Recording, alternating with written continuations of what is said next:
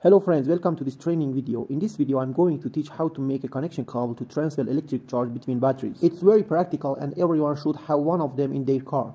With this cable, you can start a car without a battery using an external battery. We want to connect the wire to this clip. First, we separate a part of the wire cover. Due to the fact that the voltage of the batteries is mostly low, we must use wires with a large cross section for them because a lot of electric current passes through them and their connection points must also be very strong.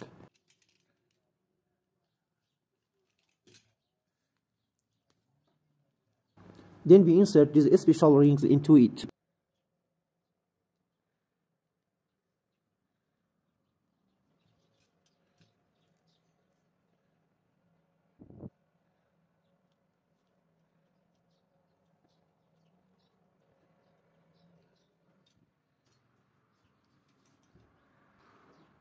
And then we press two points of it completely with the press machine.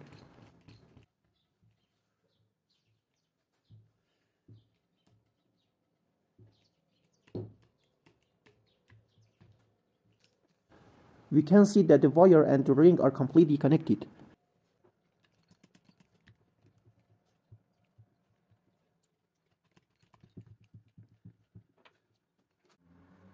To connect the wire to the clip, we first remove the plastic handle of the clip and create a hole on the body of each clip.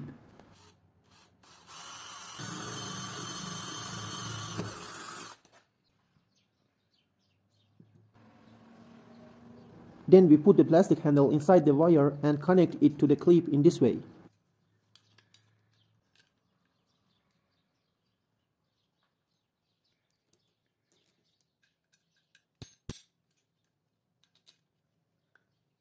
Before closing the nut, I use a spring washer so that the nut does not loosen over time.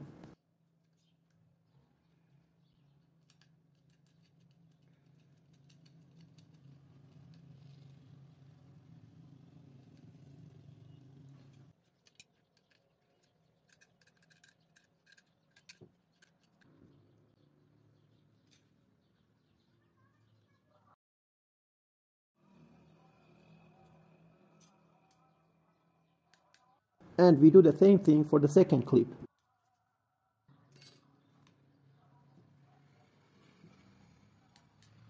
And we make another connection wire similar to this.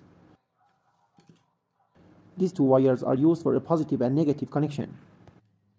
This video is finished. If you like the video, please press the like and subscribe button. Goodbye.